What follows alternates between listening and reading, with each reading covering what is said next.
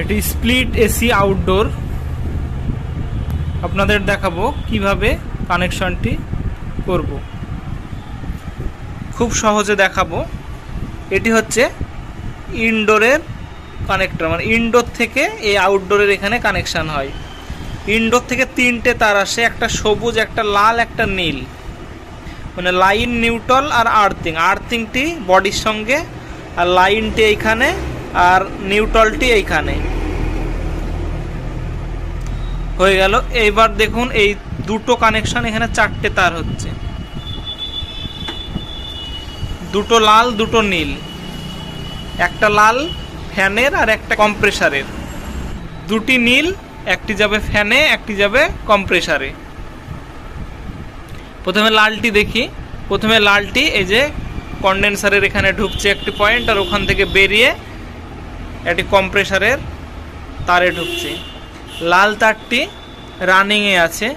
এই যে এটি লাল তার রানিং লেখা আছে, এখানে ঢুকছে। তারপরে আরেকটি আসছে নীল তার। নীল তারটি নিউট্রল ডাইরেক্ট কম্প্রেসারের এখানে ঢুকছে। নীল তারটি, এইটি হচ্ছে নীল তার। কমনে আছে নীল তারটি। কমন নীল তার। তাহলে থাকল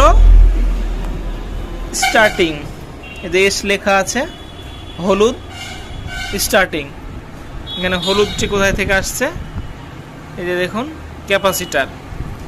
মানে লাল ঢুকছে, তারপরে ওখান থেকে আউটপুট হয়ে হলুদ স্টার্টিং তাহলে রানিং লাল, হলুদ স্টার্টিং আর নীল তারটি কমন আমাদের কম্প্রেসারের কানেকশান হয়ে গেল।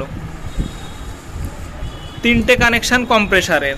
আবার বলে দিচ্ছি, স্টার্টিংটি আসছে ক্যাপাসিটারের আউটপুট হয়ে। আর রানিং লালটি আসছে ডাইরেক্ট এইখান থেকে, ডাইরেক্ট এখান থেকে চলে আসছে। আর একটি থাকছে নীল। নীলটি ডাইরেক্ট চলে আসছে নিউট্রাল। হয়ে গেল। এবার ফ্যানের যে কানেকশান সেটি এখানে একটি সার্কিট বোর্ড দেওয়া আছে, একটি লাল, একটি নীল। এই দুটো তার নিউট্রাল ফেজ এই বোর্ডে ঢুকছে। এই বোর্ডটির একটি কাজ, আমাদের ফ্যানের যে কারেন্ট খরচ, সেটা কমানো। এখানে দেখুন এই যে পাঁচ তার, এটি, এই ফ্যানটি আঠারো ওয়াটের করা হয়েছে এই বোর্ডের মাধ্যমে। এই বোর্ড আঠারো ওয়াট কারেন্ট খরচ করায়। তাই আমাদের কারেন্ট খরচ অনেকটাই কমে এই বোর্ডের জন্য।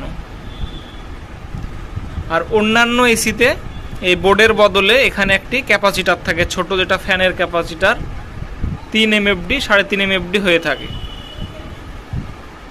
সেখানে সেম এই আউটডোর কম্প্রেসারের মতোই কানেকশনটি হয়ে থাকে। ডাইরেক্ট ফ্যানে একটি নীল চলে যাবে কমন, আর লাল রানিং ডাইরেক্ট চলে যাবে, আর ক্যাপাসিটার হয়ে স্টার্টিং যাবে ওই ফ্যানে তাহলে আমাদের ফ্যানের কানেকশানটি এইভাবে দিতে হবে। যদি বোর্ড না থাকে, তাহলে আমাদের ঠিক কম্প্রেসারের মতোই ছোট্ট একটি ক্যাপাসিটার দিয়ে আমরা করব।